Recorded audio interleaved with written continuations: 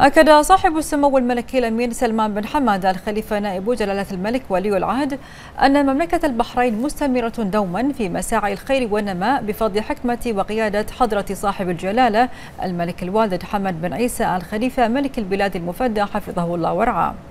وهي تسير دائما على نهجها الثابت في سبيل تحقيق الأهداف المنشودة للمسيرة التنموية الشاملة بقيادة صاحب الجلالة لصالح الوطن والمواطنين. وقال سموه إن البحرين بفضل تكاتف أبنائها المخلصين أثبتوا أنهم أهل عزيمة وإنجاز وبرهنوا على إخلاصهم ووقوفهم بجانب الوطن في كل ما مرت به المملكة من أزمات وتحديات والتي استطعنا تجاوزها بفضل من الله وتوفيق منه ثم بتضافر جهود الجميع فشكر لهم على كل ما بذلوه من عطاء لخدمة الوطن الغالي. منوها سموه بأن المنجزات التي تحققت وسوف تتحقق للوطن هي إنجازات تمت بسواعد أبناء البحرين والتي هي محل تقدير واعتزاز. وسنواصل السير معا نحو تحقيق أهدافنا على كافة المستويات والتي تقودنا لبلوغ تطلعات التي يطمح إليها الجميع. متيقنين من إمكانية الوصول لها كوننا على المسار الصحيح في ظل ما نراه من عزم وحرص من المواطنين لتنفيذ كل ما فيه الخير للوطن. وأضاف سمه أنه بفضل من الله أولا ثم بتكاتف أهل البحرين وإخلاصهم في خدمة وطنهم وبدعم أشقائنا المستمر في المملكة العربية السعودية ودولة الإمارات العربية المتحدة ودولة الكويت. استطعنا مواجهة التحديات المالية وتجاوزها. وتوحيد تلك الجهود المخلصة لكل من من شأنه أن يحقق الاستقرار المالي في المملكة. ونشكر الأشقاء على دعمهم لجهود التنمية في مملكة البحرين منوها سموه في هذا الصدد إلى إسهامات أبناء المملكة وتفانيهم في حب هذا الوطن الغالي وعطائهم الذي يقود نحو مستقبل مزدهر بأبنائه وقال سموه إننا متمسكون بقوتنا ووحدتنا وترابطنا جميعا ونحمي أبناء هذا الوطن فردا فردا. مطلعين نحو مستقبل مشرق لصالح أبنائنا وللأجيال القادمة.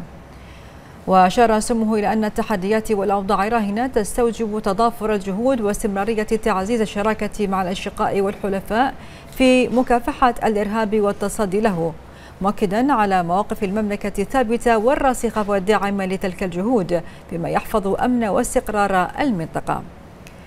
وأضاف سمه أن ما يتم العمل عليه اليوم من أجل التنمية المنشودة مستمدة مما تم التوافق عليه في ميثاق العمل الوطني ومبادئ الرؤية الاقتصادية للبحرين 2030 والمبادرات والخطط المختلفة التي تم استحداثها من أجل رفض عملية التطوير والتحديث.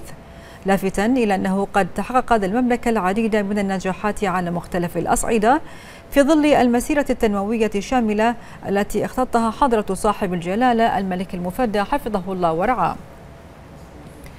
منوها بما تحقق من تعاون بين السلطتين وبما تقوم به السلطة التشريعية من دور كبير في تحقيق تطلعات المواطنين وما تم مؤخرا من إقرار الميزانية العامة للدولة. جاء ذلك لدى زيارة سمو حفظه الله يرافقه سمو الشيخ عيسى بن سلمان بن حمد الخليفة إلى مجلس خالد الشريف ومجلس عائلة كازاروني حيث نوه سموه بأهمية المجالس الرمضانية ودورها في تكريس التواصل بين كافة أبناء المجتمع وترسيخ قيم التكافل المجتمعي التي يجب الحفاظ عليها وإسهامها في توطيد أواصر المحبة والتآخي والتآلف بين الجميع. وقال سموه إن الجميع أسرة واحدة والبحرين غنية بأهلها وإرثها وهو ما نؤكد عليه في زيارات المجالس في هذا الشهر الفضيل التي هي عادة أصيلة توارثها الأجداد والآباء ونحرص عليها للالتقاء بكافة المواطنين في مختلف محافظات المملكة. وأكد سموه على الدور الحيوي للقطاع الخاص في رفض مقومات التنمية وخلق الفرص النوعية كونه المحور الرئيس في الاقتصاد البحريني.